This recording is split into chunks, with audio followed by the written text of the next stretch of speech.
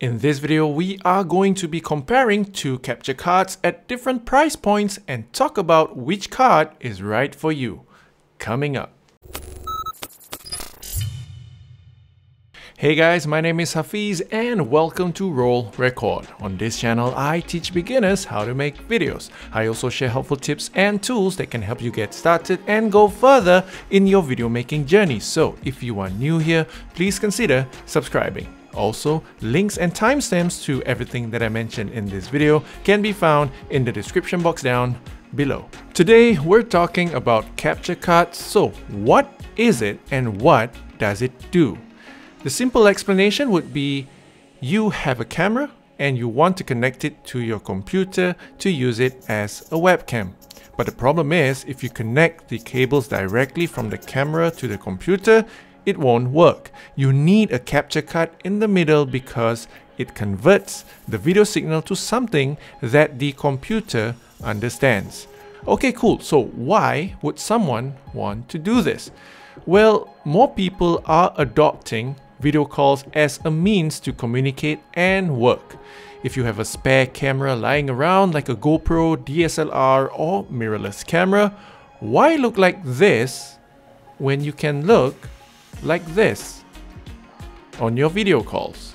Some examples of who can benefit from a setup like this. I'll give you three examples.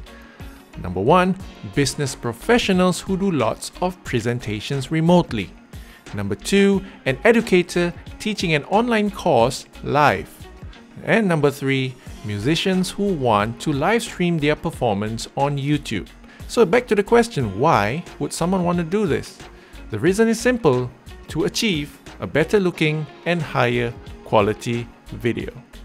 Interestingly, because of this crazy demand, it gave birth to this guy. Someone from China manufactured so much of this that you can find it online with different names. Thing is, I got mine for about $12 and it's brandless. So begs the question, is it reliable? Is it good? Let's talk about that now. So brandless versus Camlink. I'm breaking it down into four parts. The unboxing, physical attributes, software compatibility, and conclusion. For the unboxing, straight off the bat, I got to say the brandless is staying true to its name. It's a simple brandless white box that says HDMI video capture. Inside is the unit itself, along with some instructions. The Camlink on the other hand comes in a nicely made box and what's included is the Camlink unit itself and an extension cable. I'll explain in a bit why I think this is an important accessory. Next up, physical attributes. In terms of physical attributes, putting both cards side by side, you can see that the Camlink is slightly bigger, but brandless is slightly thicker. The Camlink is made up of plastic while brandless is made up of metal. I don't have a weighing scale here but due to the metal body, brandless does feel a little heavier than the Camlink. Looking at the body, you can see that they have both similar ports. On one end, you have a USB connector and on the other is an input for HDMI. The USB side goes to your computer while the HDMI would be coming from your camera. Camlink is USB 3.0 while brandless is USB 2.0. What it basically means is that the transfer rate for the Camlink is faster. Just a fun fact, USB 3.0 is 10 times faster than USB 2.0.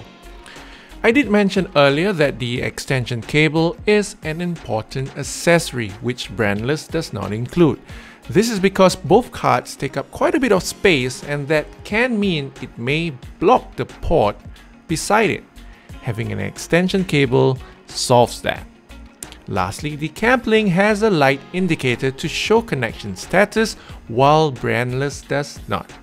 Next up, software. When it comes to usage, both capture cards are plug and play, which means you don't need to install drivers or software for them to work.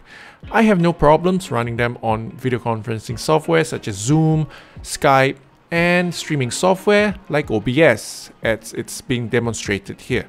The next part is what makes these two cards different. Are you ready? Okay, so with OBS, you can select what output resolution and frame rate the capture card supports. For Camlink, it accepts 4K input from the camera and is able to output the video at 4K.